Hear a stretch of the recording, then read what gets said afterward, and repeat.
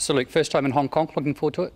Uh, really looking forward to it. Uh, amazing tournament, amazing city uh, from what I've heard, so really looking forward to going there. Uh, in terms of the team, we've built nicely in the last two tournaments. We're looking to kick on the form that we've started hitting into this, probably the biggest tournament of the year, Hong Kong. Now, looking back at the season, it might be fair to say that things maybe haven't clicked as well as you would like, but there were signs in the last two rounds that maybe uh, things are turning around for you guys.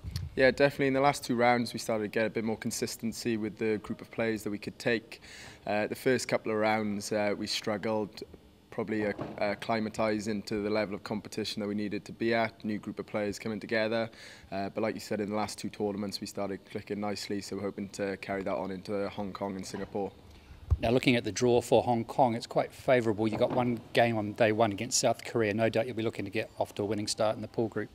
Uh, definitely, yeah. We've had a good look at the group. Um, quite really looking forward to this first game against South Korea. A bit, bit of an unknown entity for us.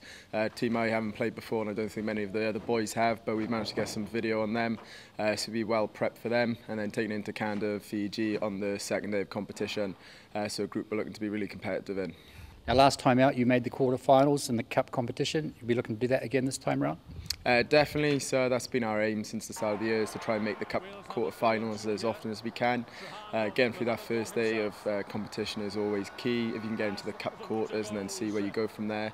Um, and Hong Kong is a tournament that uh, I know Wales have done particularly well in in the past, so we're looking to uh, copy that and see how far we can get.